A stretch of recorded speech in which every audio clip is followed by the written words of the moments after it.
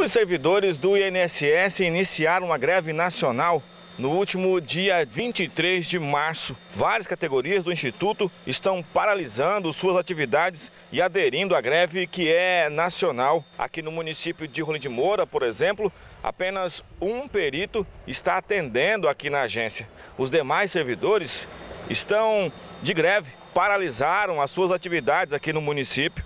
Ainda conforme informações aqui da mesmo da agência, uma das reivindicações é a realização de um novo concurso e o preenchimento de várias vagas, haja vista que o efetivo é abaixo do necessário e com isso eles não conseguem prestar um serviço digno à comunidade. A realização de exames através do perito é fundamental para a liberação ou mesmo o desbloqueio de benefícios. A fila de espera chega até seis meses, um desrespeito com os usuários.